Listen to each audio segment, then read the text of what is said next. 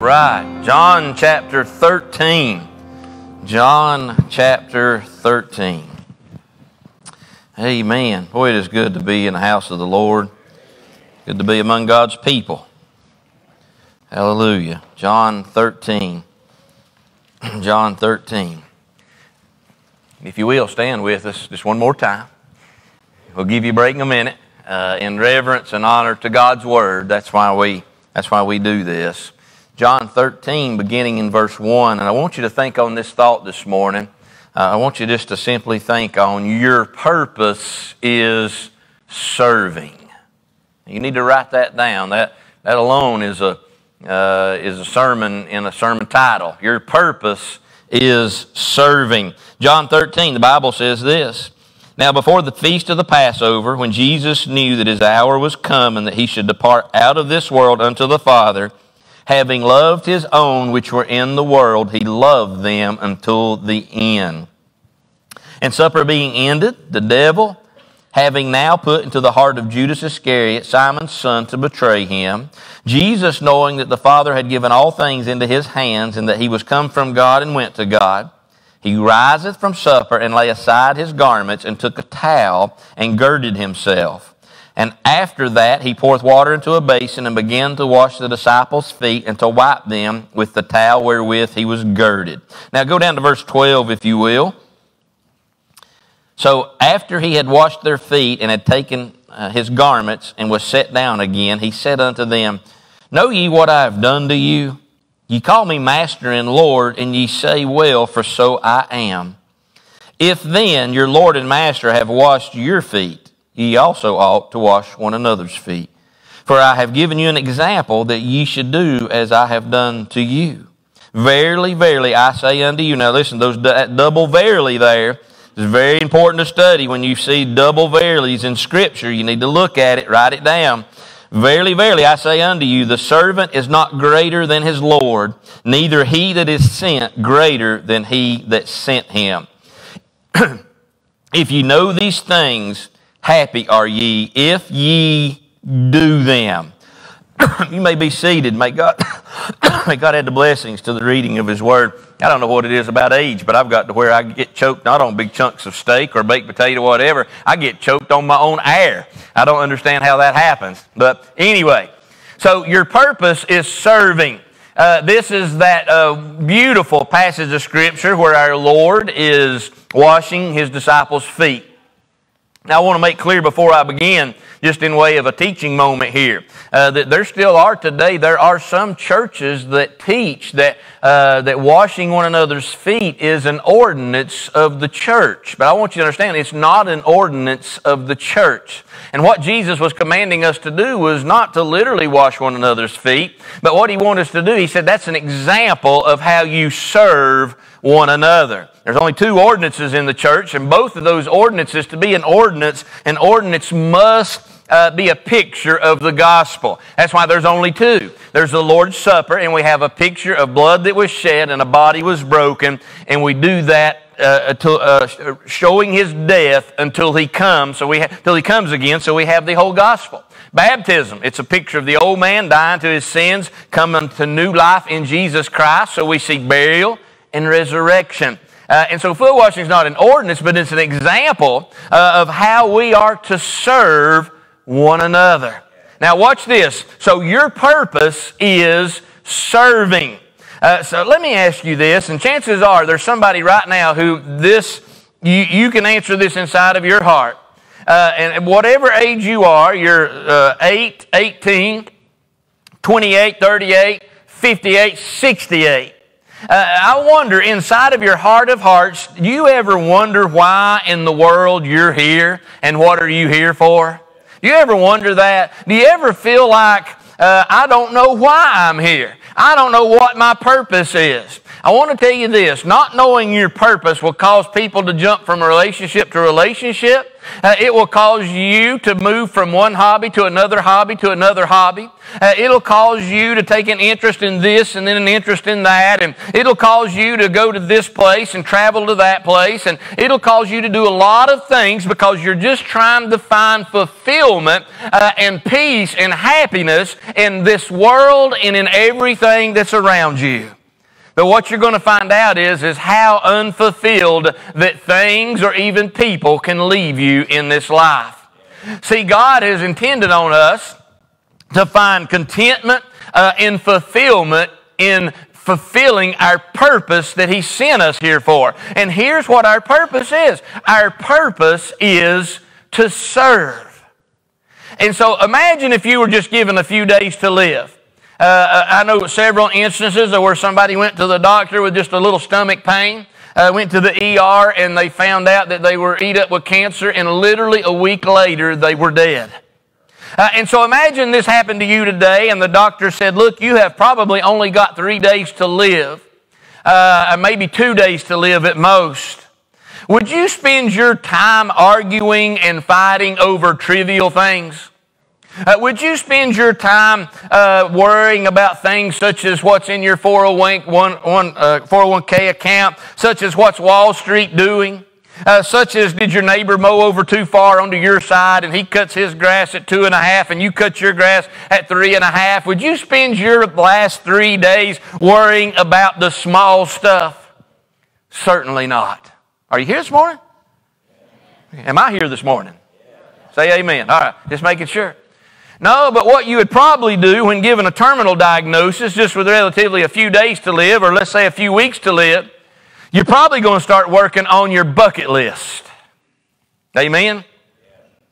Yeah, you know what your bucket list is. I learned this just a few years ago, and I've, I've shared this before, but uh, not many years ago actually. But the girls were a little bit smaller, and they they started talking about their bucket list. When I'm like, "What is your bucket? What's the bucket list?"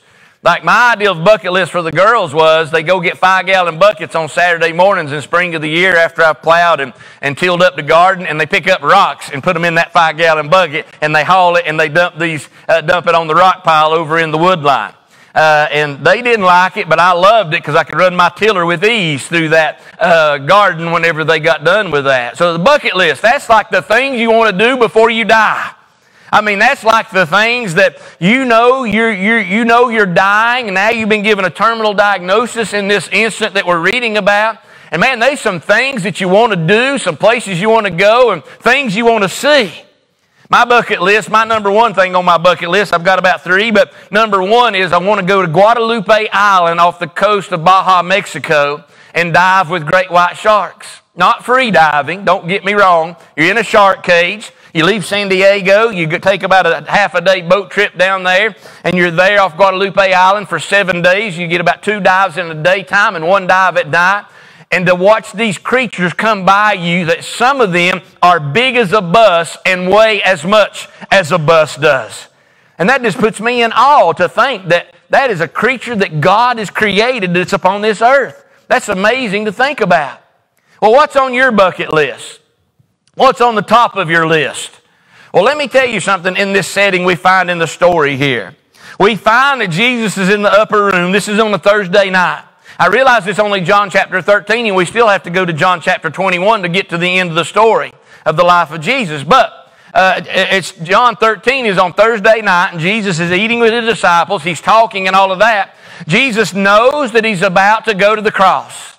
He knows uh, that on that early, on, late on that Thursday night, early on that Friday morning, he's going to be arrested. He's going to be falsely accused. He's going to be mocked. He's going to be tried. He's going to be crucified on an old rugged cross. Uh, and he's going to be buried for three days. He knows he is hours from death. I want to tell you what Jesus puts on his bucket list. What Jesus put on his bucket list was serving those that he loved. My goodness. That's kind of a far cry from the generation in which we live, isn't it? He knows he's dying, and on the top of his bucket list is, I want to serve. And not only do I want to serve, but I want to wash my disciples' feet. Now keep in mind, this is the King of glory we're talking about. We're talking about God in flesh. Uh, we're speaking of the Lord Jesus Christ, um, the salvation that's been sent down from God out of heaven for all of mankind. And what does He want to do just before He begins that death journey? He wants to get on His knees and He wants to serve. Now, I want to remind you in, in those days, let's go back to the biblical setting. So, in the biblical setting, remember that there were no uh, sewer systems, uh, there were no septic tanks, uh, there, there was none of that. There was also no code, no code enforcers. Uh, and, and so, everything that was in the house that needed to come out of the house, it was thrown into the streets. That's everything from when you've used the bathroom to when you've washed the dishes sink or to when you've washed people's feet. It's thrown out into the street. And so when you're walking around, not wearing your Danner boots, but when you're walking around in your sandals of the day, everybody's sporting Tevas. When you're walking around, you're getting all that dust on your feet. You're going through, uh, you're going through water. You're going through all of that waste. You're getting all of that on your feet. And more than likely, these disciples, they had accessed this upper room not from the interior of the home, but they accessed it from the exterior of the home, just like many of those homes all throughout Palestine and the Middle East still are today. Go to Afghanistan, you'll see what life is like 2,000 years ago in the time of Christ. But there's a little set of steps that run up the outside of the building that goes to a rooftop. And there you can access an upper room. And so they had not been through the interior of the room, the house where their feet had been washed and clean, but they had, they had come from the outside up. Uh, and they were sitting there, their feet had not been cleaned or washed. So Jesus was not kneeling down at manicured feet, pedicured feet. Let me get it right, ladies. Some of you men could have straightened me out on that, you know. If you do that, I hope you skip the nail polish. So, your purpose today is to serve. We've got people running around today, and they're trying to figure out their purpose in life, and they're running from one thing to the next, and one thing to the next, and one person to the next, and one purpose to the uh, one person to the next. But listen to me. God's got a purpose for you, and He's got a purpose for every single one of you. But here's what it is God's purpose for you is to serve. It is to serve. And how do we serve? We serve through the local church. But I want to show you a couple things that we find in, in Scripture as we start looking through this Scripture and we start thinking about what the Lord has said. I want you to notice in verse number four, he said, the Bible says this, that he, that he riseth from supper and he laid aside his garments. He, he, he, he rose up, he laid aside his garments. I want to tell you something that you need to know about serving and fulfilling your purpose in life. One of the things that you have to do is, is you have to lay aside yourself and your wants and your motives to serve others. So write this down. Number one. Number one, remember this. Selfish people do not serve. Selfish people do not serve. And I want you to understand something. We as a church, we have created this church environment today all across America. And, and, there's books written about this and seminaries teaching this kind of junk. But we have created this church environment in America where, uh, where we have set up this ideology in a, in a man-made theology that says if you will come here, we are going to feed you. We're going to cater to your needs and cater to your wants. You want a pedicure? We'll give you a pedicure. We'll put polish on if you want polish on. We've created this church environment uh, where an attitude from the world has crept into the church. Uh, and we come to church and we're just wanting to get, we're wanting to receive, we're wanting to uh, let it be all about me. What do you have to offer me, give me, bring to me, feed me, make me full, make me happy, and let me leave with a smile? I want you to understand something. That's not what God said our purpose is. The Bible says our purpose is to serve. And selfish people don't serve. See, selfish people want to pull up to the table and they want to be fed, but they don't want to give anything in return. Selfish people, they want every song sung that just pleases them in a style and in a way that pleases them. They want the sermon to be just in their manner of preaching or teaching.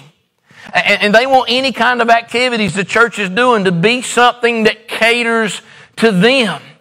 That's selfish people, but I want you to mark it down. Number one, selfish people don't serve. They don't give. Uh, they don't hand out. They don't extend help. They don't serve in any way. Selfish people don't serve. And listen, gone are the days in our society anymore. And if you're a new parent, you write this down and mark it down because I believe it's great parenting advice we find really from the life of our Lord and from the teachings of Scripture. But gone are the days when our kids are given chores and responsibilities. Has anybody ever heard of chores? Has anybody ever had to do chores at your house? I remember counseling with a couple one time, many, many years ago, and they were a very volatile couple. A lot of stress, a lot of tension in this, this relationship. Uh, and, and I remember, I met with them a couple times, but um, I, I remember the wife speaking, and she said, Listen, she said, I'm so frustrated, and I'm so mad, and I'm so angry. Because she says, I work hard all week long, and she said, on Saturdays, she said, I have got to get up and I've got to clean from dusk until dark. And she said, he's never home all weekend long. Uh, she said he's out with his buddies doing whatever, wherever, whenever. He never helps one single bit around the house. She said he eats. He piles a sink full of dirty dishes. And she said, then I go to my 16 year old daughter's room, and she said, literally, there are clothes piled up to the knees in that room. And she said, her room is filthy. She said, it takes me several hours just cleaning up in her room. I said, whoa, whoa, whoa, wait, wait, wait, wait, wait, wait, stop. We're talking about your 16 year old daughter's room. And, and, and, did you say you go in there and you spend several hours cleaning in that 16 year old daughter's room? And she confirmed all of that. And, and, and, I said, listen, my girls are 9 and 11 or 12, whatever age they were at the time, maybe younger. And, and I said, listen, they, they wash dishes, because we didn't have a dishwasher. I said, they wash dishes. Uh, they run a vacuum cleaner. Uh, they clean their room. They make their bed. They bring their dirty clothes to the laundry. Uh, and, and you can take a lot of stress off yourself uh, if you would start teaching your daughter some responsibility. Because listen what we're going to do. Because if we don't teach our children responsibility and we don't give them some chores in responsibility, if we don't do that, then we're raising another generation who thinks life is all about feeding them, taking care of them, meeting their needs, and never reaching out and serving someone else. You with me? I think the six of you that are. And so we got a generation today that just wants to be fed, wants to be fed. But listen to me. Your purpose is to serve. And you're running around trying to figure out why you feel so unfulfilled inside. There's a reason why uh, that a whole barn full of stuff leaves you without fulfillment and without contentment. There's a reason why a great old big brand new house, once the excitement of getting in it and building it's over with, you step back and you're like, that really is doing nothing for me on the inside. There's a reason why that big brand new truck or big motorcycle or big boat or whatever the case may be. There's a reason why that in the end, none of that stuff brings you fulfillment or contentment. And here's what it is. It's because your purpose is to serve. You want to be content. You want to feel fulfilled and you want to be fulfilled in life. You want to know the peace of God that passes all understanding? Uh, then step into your purpose today and realize that your purpose is to serve the Master. Selfish people don't serve. I'll tell you somebody else that doesn't serve either. Is people with excuses doesn't serve. People with excuses don't serve. So the reality is this if we want to serve the Lord, if we really want to serve the Lord, We'll find a way to serve the Lord. I'm surprised, I'm often surprised how people don't come on Sundays for all kinds of trivial reasons. And then they feel like they have to come give an account to me and get some kind of excuse note for not being here on Sundays. But I don't care. Like if God's okay with you skipping out and going and doing whatever, hey, listen, I'm fine with it too. Uh, but, but I'm always amazed that the excuses that some people will come up with just not to even come to church. and the excuses that people have not to serve. We see, we see, excuses always finds a way to skip out on serving the Lord. I remember one day I was preaching a message along something like this, and I made the statement. I think I've told you this before, but I made the statement. I said, "Listen, I said I want to do anything to serve Him." I said, if they bubble gum stuck in the car- carpet right back there, I said, I'd be willing to get on my hands and knees and get that carpet out of the bubble gum. And God knows this is the truth. As soon as the service was over with and everybody left the church, and there's about three or four or five of us left, we started walking out. About three quarters of the way back, right in the middle of the aisle, there's a piece of bubble gum that had been freshly squished into the carpet. And before I got to lunch that day, guess where I found myself? On my hands and knees trying to get bubble gum out of the carpet. I still think some, some old grouch in the church said, okay, preacher, you're going to say that? I'm going to see if you mean it. and they cut me off on this side and sent me down that side, and I found the bubble gum in the carpet. But listen, those with excuses, they never serve either. And one, one of these days, our excuses is going to be over with. They're going to be over with. Had a man come to me one Sunday morning, and he said, Man, this, uh, listen, when this, when this guy come to church, he's on fire, but I never knew when he's going to come to church. It's like, I don't even know when he'd show up. He was like in the wind or, or whatever. And he come to me and said, I want to do something. I want to do something. I want to do something. Give me something to do. I want to serve the Lord. And I, and I want to say, well, first off, you can just come. Let us know you're going to be here. Uh, and then we'll try to find a place for you to serve. I didn't say that. I was loving. And, and I said, okay. I said, I said, what do you want to do? I don't know, but I just want to do something. And then I started, I knew a lot of stuff that needed to be done. I said, okay, well, we need kind of somebody over in this area. No, I, I don't really want to do that. I said, well, we need somebody in this area over here. No, I don't want to do that either. And, and, and, I said, well, what about this? And well, I can't do that because of this. I said, what about that? And I, well, I can't do that because of that. And I'm thinking, what do you want to do? You just want to have excuses, or you want to get up and you just want to do something? Man, listen, there's opportunities at Liberty to serve in so many ways. We've got so many ministries. And listen, you will bounce around in life. Mark this down. You're going to go from here and there trying to find fulfillment and contentment and peace in life. And you're going to find out that nothing in this world will do that for you except serving the master that saved you and give you everlasting life. See, Jesus, and He instructs us to do this, but when He instructs us to do this, He sees the greater purpose in us washing one another's feet. Because He realizes that in washing one another's feet or serving one another in whatever capacity that is, he realizes that ultimately it's not that we're really serving one another, but ultimately by serving one another, we're serving Him. And that's what He desires out of His children. He wants this mentality to be created within our lives, within our mind, and within our heart, and within our church. He wants us to have this mentality that life in the church is not all about me and catering to my needs. He wants us to have this mentality to where we need to realize look, it's not about me sliding up to a table and being fed. He wants us to have this mentality that says, I don't care whether I'm fed or not, I'm here to serve. I don't care if anything's about me. I'm just here to serve. I don't care if I get what I want. Uh, I don't care even if I get what I need. My purpose in life is to serve. But now watch this. In serving, watch, you're not going to understand this. This is a heavenly principle. It makes absolutely no worldly sense at all. But in serving, you're going to find out that you get fed. In serving, you're going to find out that you get your needs met. In serving, you're going to find out that the Holy Spirit of God is going to cater to the needs that you have deep down inside of you. In serving, when you walk into your purpose serving, you're going to find out that surely goodness and mercy follow you all the days of your life. Are you with me? Say amen. I want you to know this too, lastly. Number three critical people don't serve. Critical people don't serve. You know critical people, and I'm glad there's none here today. But you know critical people. They kind of growl about this and growl about that. And they always making phone calls. But watch this. And this is, a, this is, this is one for anybody in church leadership to write down and note.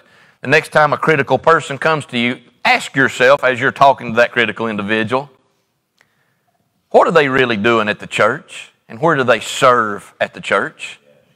Because here's the thing if you're busy serving, you don't have time to be critical. If you're busy serving, you don't have time to bellyache and complain. If you're busy serving, you don't have time for growls. But if you're busy serving, the thing that's on your mind is, is where can I serve next? What can I do next? Where can I go next to extend a hand? How can I give out? How can I satisfy? How can I bring uh, relief to somebody that is in need? And so your purpose is to serve. Girls, you come, whoever's got the invitation. Let me ask those three of our deacons to come up here. So there's somebody in this church today, listen to me, and, and the quicker you get this, the, the, the quicker you get this, the sooner you stop wasting your life. The quicker you get this. See, you're going to live through your 20s, you're going to live into your 30s, you're going to live into your 40s. Don't let it be once you're broken down and getting old that you start really thinking about what am I here for? What good have I done in this life? What's my purpose? I have no purpose. Figure this out now get this inside of you that your purpose is to serve. Psalmist David, I think it's much greater than something in the distant future when he says, Surely goodness and mercy shall follow me all the days of my life, and I will dwell in the house of the Lord forever. Literally, that, that word dwell there, it refers to his service in the house of the Lord.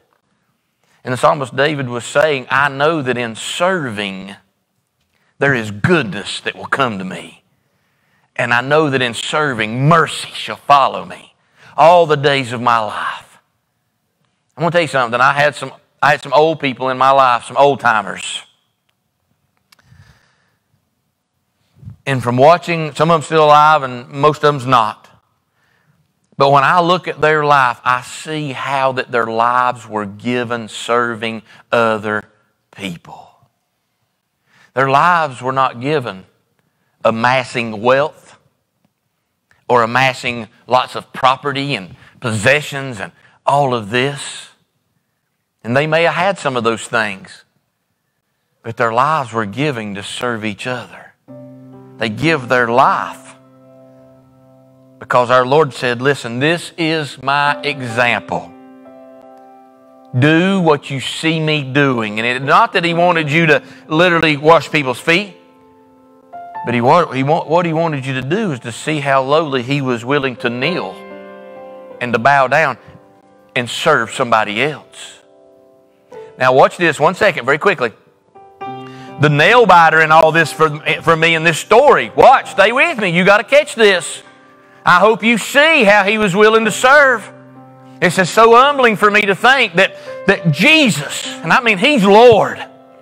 You don't have to acknowledge Him as Lord. You don't have to recognize Him as Lord in your life.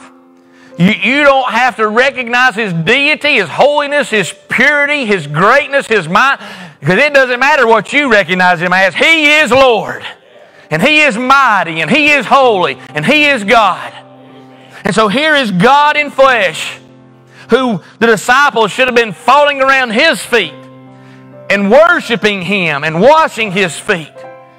And by the example they had been given from the woman who broke her alabaster box. But here's Jesus kneeling down. Here's the nail biter. Twelve disciples that sat at that table that night. One he knows is going to betray him, sell him out. 30 pieces of silver. One, his closest friend in the whole world, was going to curse and deny that he ever even knew the man. But Jesus gets up and he takes the 12 and he washes the feet of 12. If it had been me, I think I'd have said, everybody come over here and sit down except Judas and Peter. Or everybody come over here and sit down except Judas. Because I ain't helping that fool out for anything. I think if it had been me, I'd have set Judas down and probably reached up to wash his feet and I'd have snapped that ankle right in two. I'm just being real, just being me. No, Jesus set the 12 down And he got down on his knees in front of the twelve. And he began to wash his disciples' feet. This is Jesus I'm speaking of. He, he's on his way to the cross. He's about to be arrested. He's about to be mocked. He's about to be cursed, suffer, ridiculed, not because he did something wrong, not because he deserved it. He was perfect. But he was doing all that because he loved me and he loved you. And in his final hours, you know what he did? He said, I've come to serve. I've come to serve. And you're sitting here, you're wandering around wondering, what in the world am I here for? Jesus wants you to serve. He give you this example. It looks something like this,